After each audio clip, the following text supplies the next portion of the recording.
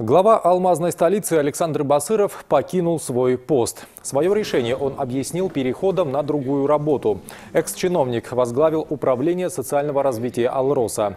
Исполняющим обязанности главы города стал Клим Антонов, заместитель главы по инвестиционной политике. До работы в мэрии он руководил предприятием тепловодоснабжения. Напомним, Александр Басыров стал мэром города в 2012 году. Люди склонны западать на разные вещи. И самая большая зависимость – это от власти. Я этим чувством никогда не страдал и все время старался работать независимо и на благо жителей города Мирного, на благо родного города, в котором я родился.